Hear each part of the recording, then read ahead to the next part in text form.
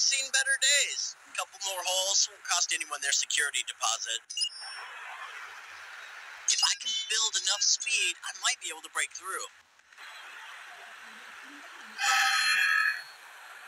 What? What? Spidey's